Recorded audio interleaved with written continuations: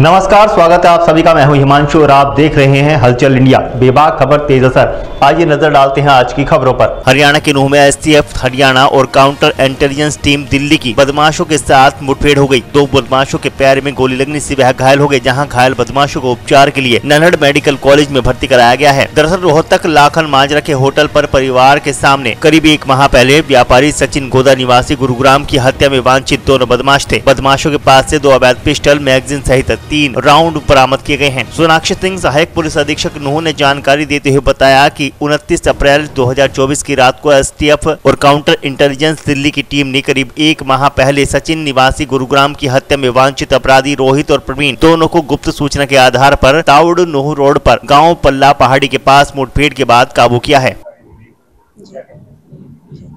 तो अभी लगभग एक महीने पहले हमारे गुड़गांव के बेस्ड एक व्यापारी हैं तो उनके साथ रोहतक के लखन माजरा में एक होटल पे उनके परिवार के सामने ही उनको गोली मार के उनकी हत्या कर दी गई थी।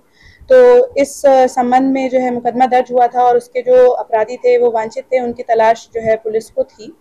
तो कल रात को हमारी हरियाणा एसटीएफ की टीम जो कि गश्त पे केएमपी के पास थी, वहाँ भी और दिल्ली की भी हमारी काउंटर इंटेलिजेंस की टीम थी। तो उन्हें गुप्त सूचना प्राप्त हुई थी कि हमारे पास ताउडू रोड पे पल्ला पहाड़ी है। वहाँ उसके पास में इन अपराधियों के होने की सूचना प्राप्त हुई थी और ये भी सूचना प्राप्त हुई थी कि इनके पास असलहे भी हो सकते हैं। तो हमारी पुलिस की टीम बुलेट प्रूफ जैकेट में उनको उनकी धरपकड़ के लिए वहाँ पर गई थी। जिसमें उन्होंने भी पुलिस को देख के पुलिस की गाड़ी को देख के उन्होंने राउंड्स फायर किए लगभग दस राउंड उनकी तरफ़ से फायर हुए हैं। बचाव में फिर पुलिस ने भी और उनको पकड़ने के लिए पुलिस ने भी जो है फिर फायर किया लगभग पंद्रह राउंड फायर किए। जिस दौरान उन दो अपराधियों के पैर पे गोली लग गई है। तो फाइनली अभी उन्हें कब मतलब काबू में ले लिया गया है। उनके पास से आ, दो असलहे और तीन राउंड के करीब गोलियाँ भी बरामद हुई हैं। अभी उन्हें नलड़ अस्पताल में भर्ती कराया गया है। और फाइनली फिर उसके बाद उनसे उनके थोड़ा ठीक होने पे उनसे और आगे की पूछताछ की जाएगी। अपराधियों के क्या नाम थे? और दूसरा वो यहाँ आए थे? कुछ पता चल पाया है? अपराधियों के नाम तो अभी हम डिस्क्लोज नहीं कर सकते हैं इन्वेस्टिगेशन का विषय है। बाकी उनके ऊपर केस दर्ज था वो लोग भागे हुए थे वहाँ से। तो वो फरारी काट रहे थे इसी हिसाब से उनके लिए सूचना प्राप्त हुई थी। पुलिस काफ़ी टाइम से उनकी तलाश में थी।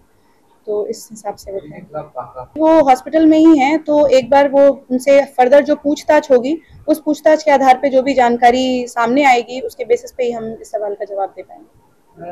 अभिनेता सलमान खान के घर के बाहर भी फायरिंग हुई थी। ऐसा सुनने में आया कि उनमें से एक आरोपी उसमें भी शामिल था।